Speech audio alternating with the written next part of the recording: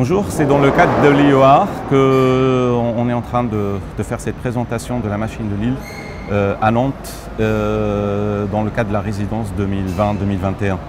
Alors, euh, je suis extrêmement content d'être ici pour une simple raison, c'est que cet endroit qui représente pour moi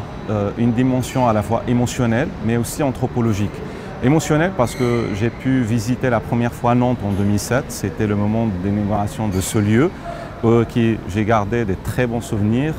Quelques années après, un petit peu, euh, disons 13 ans après, je reviens en fait dans cet endroit, mais dans un cadre de résidence qui m'a permis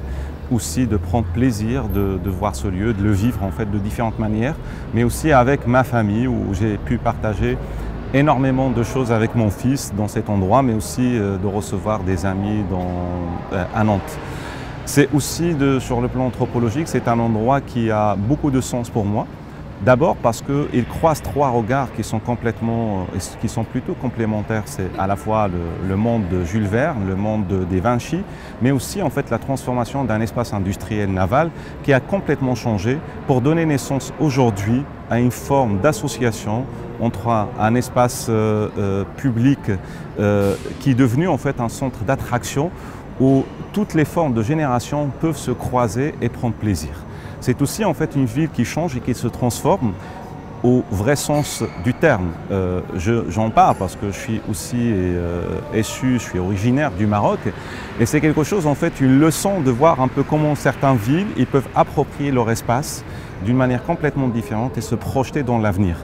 Ce vent en fait dans les pays dits euh, en voie de développement, l'espace est pensé plutôt comme une forme de prédation, d'investissement immobilier, etc. Or,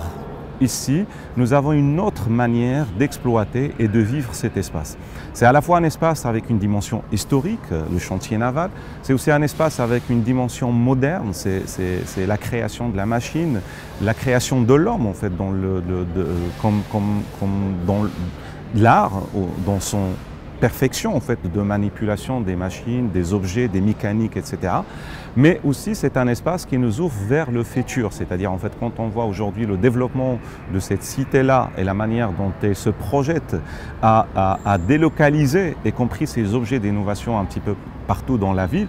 ça devient pour moi un laboratoire de construction de la ville moderne aujourd'hui qui euh, euh, laisse place à un croisement divers et varié entre différentes générations et qui devient en fait un moment de partage. C'est euh, pour cette raison que Nantes, ce lieu-là, a énormément de sens. Je, pense qu'en fait Nantes est connu par ce lieu et ce lieu fait connaître en fait Nantes dans une forme de dialectique et de reconnaissance l'une par rapport à l'autre. Et c'est aussi